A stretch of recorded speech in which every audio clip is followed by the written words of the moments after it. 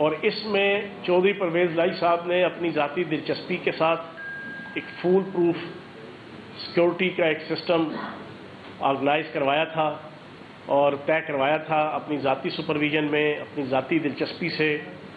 और फिर योम आशूरा के जो दिन थे और स्पेशली दस मुहर्रम, चौधरी परवेज लाई साहब ने पंजाब सेफ़ सिटी अथॉरिटी का वहाँ खुद विज़िट किया।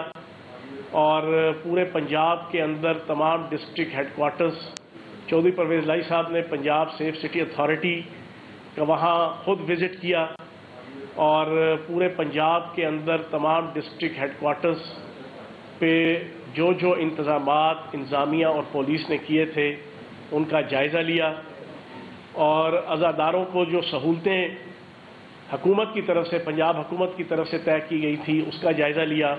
और मैं पंजाब की तमाम इंतज़ामिया डिस्ट्रिक्ट मैनेजमेंट और पुलिस खसूस पुलिस, इनको भी मुबारकबाद भी पेश करूँगा और ख्वाज तहसीन भी पेश करूँगा कि उन्होंने चौधरी परवेज़ लाई साहब की हदायत की रोशनी में बड़े अच्छे तरीके से मुहर्रम के दस दिन और योम आशूरा उनके अंदर अपनी सलाहियतों का और अपनी परफॉर्मेंस का सबूत दिया और एक पुरमन तरीके से जो है ये सारा प्रोसेस अपना पाया तकमील तक पहुँचा।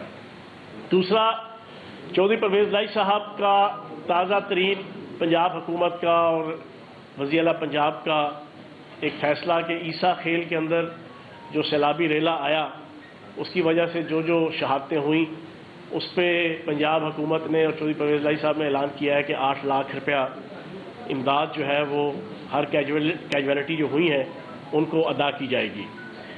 तीसरी सबसे इंपॉर्टेंट चीज़ कि पिछली जो नकम्मी और नाअहल हुकूमत थी नाजायज़ इलीगल गैर आइनी गैर कानूनी हमजा शहबाज की।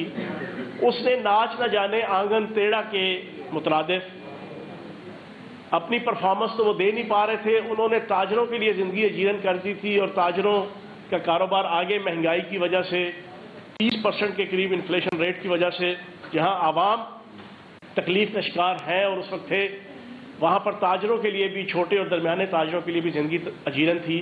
और उन्होंने कुछ टाइम तय कर दिया था कि आठ बजे तक मार्केटें खुलेंगी, कारोबार खुलेंगे, दुकानें खुलेंगी। चौधरी परवेज़ लाई साहब ने कल ये बड़ा फैसला किया है। उन्होंने ये सारी की सारी बंदिशें ख़त्म करने का ऐलान किया है पंजाब के अंदर और ये ताजरों के लिए एक बहुत अच्छी खुशखबरी है। उनके कारोबार और उनकी पर्सनल और उनकी इजतमाही इकानमी मीशत उसकी बेहतरी के लिए ये फैसला बड़ा मुमद और मावन साबित होगा। तीसरा एक सबसे इंपॉर्टेंट डिसीज़न चौधरी परवेज लाई साहब ने जो किया, पंजाब के अंदर एक पार्किंग माफिया वो बसरे पैकार था और अक्सर जब नून लीग की हुकूमत आती है, तमाम शहरों के अंदर टी एम एस के साथ मिलके लोकल गवर्नमेंट के ऑफ़िस के साथ मिलके, इनके कारकुनान और अहदेदार वो ये पार्किंग माफिया एक तश्कील देकर हर लेवल पे तो करोड़ों अरबों रुपए की लूटमार होती थी। चौधरी परवेज लाई साहब ने इस बात का ऐलान किया है कि अब इस पार्किंग माफिया को मंतकी अंजाम तक पहुँचाया जाएगा और इन किसी बड़े शहर के अंदर अब इनको पनपने नहीं दिया जाएगा और पार्किंग से हासिल होने वाला जो आमदनी है, उसका 30 परसेंट हिस्सा इन ताजरों की और मार्केटों की, छोटी मार्केटों की, बड़ी मार्केटों की बेहतरी और फलाव बहबूद के लिए इंशाल्लाह जो है वो लगाया जाएगा।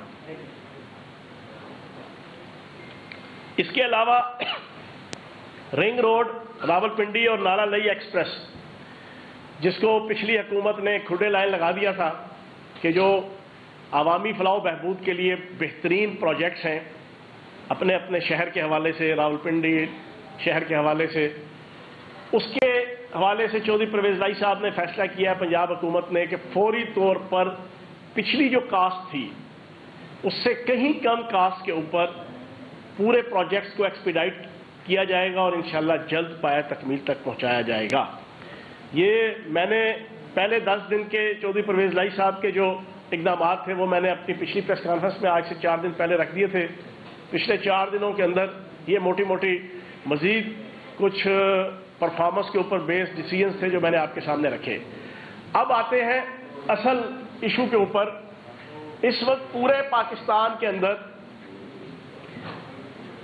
आल पाकिस्तान लूटमार एसोसिएशन इंपोर्टेड हुकूमत डॉलर्स के सरसद के डीलर्स के सरसद के परवान चढ़ने वाली हुकूमत और उस हुकूमत में शामिल हर पार्टी जिसका हर लीडर पाकिस्तान के अंदर रियासत के मुखालिफ सरगर्मियों और रियासती अदारों के खिलाफ सरगर्मियों के हवाले से मशहूर और मारूफ। ज़िंदा और ताबिंदा है, जिसने पिछले पाँच साल से लेके पिछले कई सालों तक उनके एक नहीं, दो नहीं, दसियों नहीं, बीसियों नहीं, कई सोशल मीडिया, इलेक्ट्रॉनिक मीडिया के क्लिप्स दलील के तौर पर एग्ज़ाम्पल के तौर पर प्रूफ के तौर पर, सबूत के तौर पर मौजूद है कि उन्होंने पाकिस्तान के रियासती अदारों के खिलाफ वो वो जबान इस्तेमाल की, असम्बलियों के अंदर भी और असम्बलियों के बाहर भी, जलसों और जुलूसों के अंदर भी और प्रेस कॉन्फ्रेंसिस के अंदर भी। आज वो सारे इकट्ठे होके पीटीआई के खिलाफ, इमरान खान साहब के खिलाफ हाजी, नमाजी साधु और परहेजगार बने बैठे हैं। सरों पे उन्होंने जनाब तकवा की टोपियाँ पहन ली हैं, हाथों में उन्होंने जनाब अपनी परहेजगारी की तस्वीर पकड़ ली है। हालाँकि हकीकत यह है कि इनमें से हर बंदा रियासती अदारों और रियासत के खिलाफ सरगर्मियों में मशहूर और मारूफ है। मैं आज सबसे पहले, अभी थोड़ी देर पहले इनकी जाती मुलाजमा नून लीग की प्रेस कॉन्फ्रेंस करके हटी और बड़ी बढ़ के मार के हटी। जनाब, ना अहल हुकूमत जो थी, साढ़े तीन साल उसने मुल्क का बेड़ा घर कर दिया। अगर पिछले 25 सालों में पहली दफ़ा 6 परसेंट जीडीपी ग्रोथ रेट देना ना अहल है, ना अहली है तो इस नून लीग की मुलाजमत, मुलाजमा पे मातम करने को जी चाहता है। अगर पिछले 25 सालों में पहली दफ़ा पाकिस्तान का एक्सपोर्ट लेवल 32 अरब डॉलर तक गया है, ये नाअहली है तो इसको शर्म से डूब मर जाना चाहिए। अगर पिछले 25 सालों में पहली दफ़ा 31 अरब डॉलर की फॉरेन रेमिटेंस होना नाअहली है तो इसको चुल्लू भर पानी के अंदर डूब के मर जाना चाहिए। अगर 3200 अरब से बासठ अरब तक पाकिस्तान के अंदर टैक्स कलेक्शन 75 साल की हिस्ट्री में पहली दफ़ा लाना नाअहली है तो इसको अपने घर से बाहर नहीं निकलना चाहिए नून लीग की इस मुलाजमा को। अगर पाकिस्तान के पंजाब, पाकिस्तान के अंदर एग्रीकल्चर जीडीपी ग्रोथ रेट 4.4 पिछले 25 सालों में पहली दफ़ा हासिल हुई। ये नाअहली है। सनत की जनाब जीडीपी ग्रोथ रेट सनती ग्रोथ रेट वो 7.2 पिछले 25 सालों में पहली दफ़ा हासिल हुई। लार्ज स्केल मैन्युफैक्चरिंग आपकी 11.2 ग्रोथ रेट पिछले 25 सालों में पहली दफ़ा हासिल हुई। अगर ये नाअहली है तो आले शरीफ की इस मुलाजमा को और इन मुलाजमा के आकाओं को चुल्लू भर पानी में डूब मर जाना चाहिए।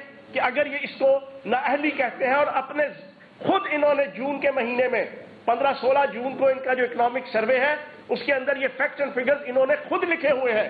तो शर्म से डूब मर जाना चाहिए इस नून लीग को, इस इंपोर्टेड हुकूमत को, कि जो हर रोज अपने जाती मुलाजमाओं को बैठा के दिन में छह छह सात सात दस दस प्रेस कॉन्फ्रेंस करवाते हैं और गोएबल्स की सियासत मैकावली की सियासत और चांकिया की सियासत और उम्र अयार की सियासत करवाते हैं और झूठ के पटारे खोलते हैं। ये अभी थोड़ी देर पहले बैठ के जना ये झूठ बोलने लगी हुई थी तो मैं समझता हूँ कि इसको शर्म के मारे मीडिया में नहीं आना चाहिए। और फिर वे बैठ के अपने लीडर को, उस सुल्तान मफरूरुद्दीन नवाज़ शरीफ को, बड़ा हीरो साबित कर रही है, जनाब, वो अदारों का बड़ा रिस्पेक्ट करने वाला। तो जनाब, आज सुन लें, इस प्रेस कॉन्फ्रेंस के ज़रिए से, किम बारकर अमेरिका की एक मशहूर मारूफ जर्नलिस्ट है। उसने 2010 के अंदर विज़िट किया पाकिस्तान का। उस विज़िट की कहानी उसने अपनी एक किताब है, द तालिबान शफल, जो मौजूद है मार्केट के अंदर, इंटरनेशनल मार्केट के अंदर, पाकिस्तान की मार्केट के अंदर, लोगों के हाथों में है वो किताब। उसके अंदर उसने क्लियर कट लिखा। उसने कहा कि मैं जब लाहौर विज़िट पे आई तो यहाँ नवाज़ शरीफ साहब से मुलाकात हुई। पहला तो नवाज़ शरीफ साहब ने हसब सबक जो उनकी गैर अखलाकी एटीट्यूड और बिहेवियर है, ये मैं पहली दफ़ा बात नहीं कर रहा इससे पहले मीडिया में आ चुका है। सारे कोर्ट कर चुके हैं। मैं तस्कीर के तौर पे बताना चाहता हूँ, इनकी औकात क्या है, इनकी हैसियत क्या है, जो अपने आप को मोमन मुतकी और बड़े साधु और परहेजगार साबित कर रहे हैं और रियाती इदारों के बड़े मुहाफ़ और रियासत के इज़्ज़त और एहतराम के बड़े नन्हे खान और फन्ने खान आज बने हुए हैं। पहली बात तो किम बारकर से नवाज़ शरीफ साहब पूछते हैं कि जनाब आपका कोई बॉयफ्रेंड है? किम बारकर कहती है, एक दफ़ा तो मेरे दिमाग में जनाब सनसनी सी फैल गई कि ये मुल्क का दो दफ़ा वज़ीर आज़म रहा पाकिस्तान का। इतना एक नेशनल इंटरनेशनल लेवल पे मुख्तलिफ़ के ऊपर रिप्रेजेंट करता रहा पाकिस्तान को। ये पूछ क्या रहा है? खैर, उसने तो बड़े इज़्ज़त एहतराम से जनाब अपनी जान छुड़ाई। उस पर फिर नवाज़ शरीफ साहब ने उनको सर्विसेज़ पेश करने की ऑफ़र की। ये किताब के अंदर लिखा है, ये मैं नहीं कह रहा। अभी आप गूगल में चले जाएँ द तालिबान शफल आप खोल लें, उसके अंदर ये लिखा हुआ है। तो फिर सर्विसेज़ देने की कोशिश की कि मैं आपको जनाब को आपका बॉयफ्रेंड बनाने के लिए कोई आपको कोई बंदा ऑफ़र करूँ। ये तो नवाज़ शरीफ साहब की औकात थी, इखलाकियात की, उनकी एथिक्स की। अगली चीज़ जो असल में आपको बताना चाहता हूँ, ये आज पाकिस्तान के अदारों के बड़े नन्हे खान, फन्ने खान चाचे और मामे बने बैठे हैं। रियासती अदारों और रियासत से बेवफाई और गद्दारी इनकी खून की घिट्टी के अंदर पड़ी हुई है।